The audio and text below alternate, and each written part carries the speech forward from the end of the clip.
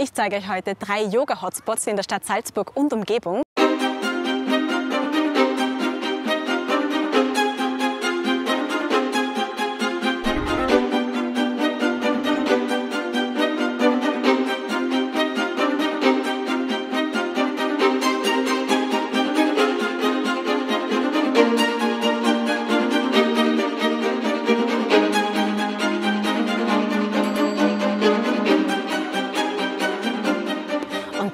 Hotspot, der ist da direkt hinter mir und zwar direkt auf der Festung oben.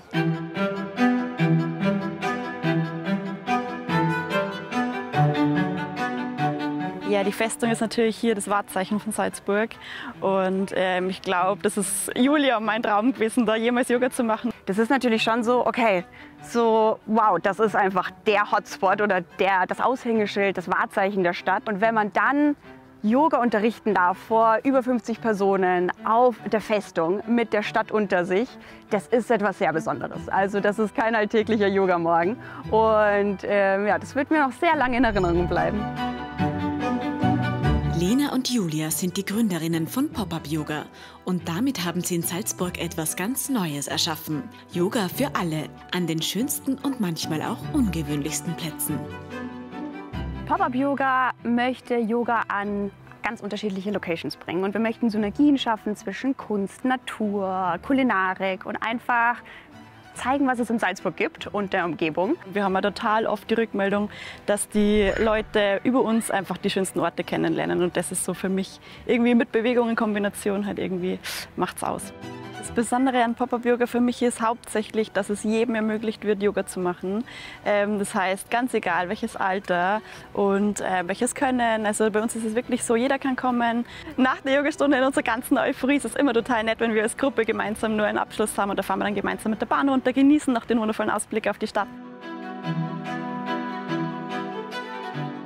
Pop-Up-Yoga führt mich heute zum Fuße des Mönchsbergs.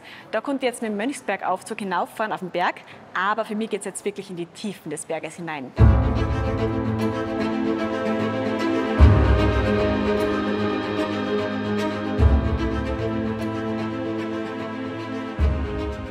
ist mitten in der Altstadt, direkt im Mönchsberg. Und es ist von der Stimmung her, dadurch, dass man im Berg einfach drin ist, ist man einfach in so einer kleinen Bubble. Man ist einmal kurz abgeschnitten von der Außenwelt, raus aus dem Alltag, rein in dieses ganz besondere Gefühl, je nachdem, welches Motto wir haben. Also es kann Safari sein, es kann Unterwasserwelt sein. Und dann ist man echt einmal kurz so in einer anderen Welt. Und das ist voll schön.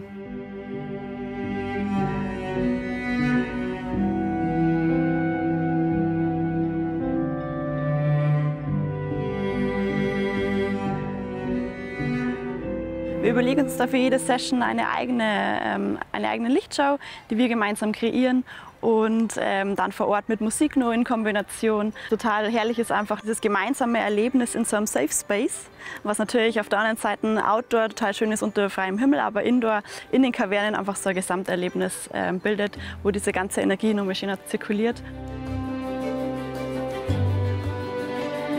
Das war schon so ein Hotspot, den irgendwie Pop-Up Yoga entdeckt hat. Wir möchten den Yogis eine kleine Auszeit von ihrem Alltag bieten und wir wollen sie einmal kurz reinholen in eine Wohlfühlbubble, so nennen wir es liebevoll, und wo sie einfach mal keine To-Dos erledigen müssen, keine Termine haben, nicht performen müssen, sondern sie kommen in diese Yoga-Welt, äh, in diese Pop-Up-Yoga-Welt und dürfen einmal kurz abschalten, sich nur mit sich und dem Körper beschäftigen, einfach sich ein bisschen berieseln lassen und genau, einfach mit einem guten Gefühl nach Hause gehen.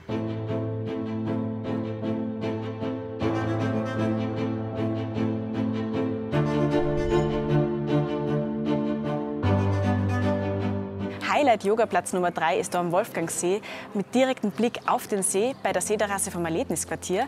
Da kann man mit wunderbarer Aussicht Yoga machen.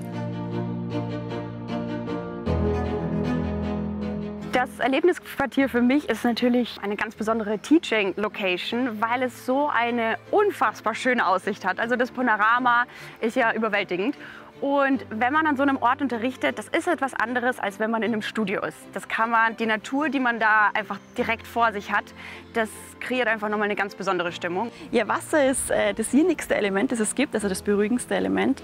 Und wenn wir natürlich Yoga kombinieren mit Wasserelement, dann macht das Ganze nur mehr Tiefenentspannung. Und wenn man das kombiniert mit achtsamen Bewegungen, mit Meditation, mit Atemübungen, dann bringt es die Leute, glaube ich, noch mehr runter, beruhigt das Nervensystem noch ein bisschen mehr und kreiert einfach noch mal so ein bisschen mehr Bilderbuchmomente, äh, die sie sich abspeichern. Und das macht das Erlebnisquartier auf jeden Fall special.